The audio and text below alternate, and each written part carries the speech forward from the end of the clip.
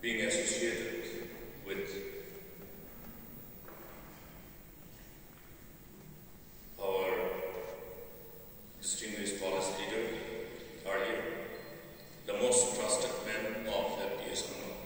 That's how we used to describe when we refer to our newly elected honorable speaker.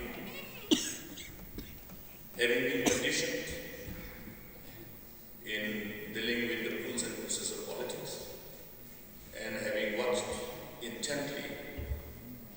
speaks of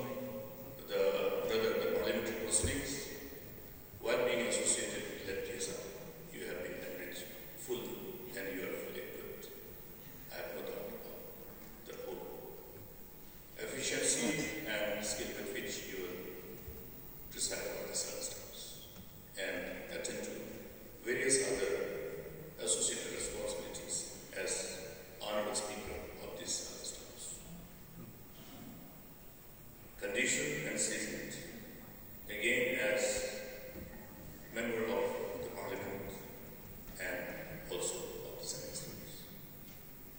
This house, yes, we as members of the Senate house are proud to be members of the Senate house because of his distance with him, legislative exuberance,